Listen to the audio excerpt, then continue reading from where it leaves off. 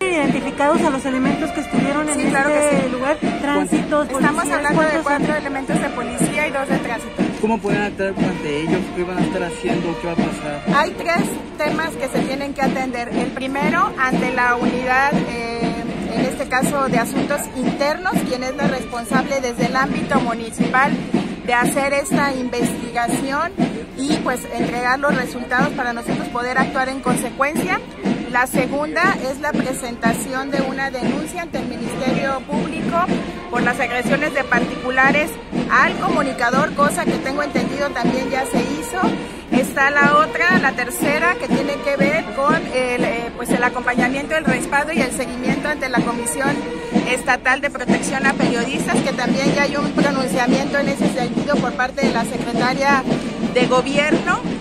Eh, bueno, de manera específica sí me gustaría comentarles que desde el sábado el secretario de Seguridad Ciudadana suspendió a estos eh, elementos que participaron en cuanto a la operatividad se refiere. No están en este momento en operatividad.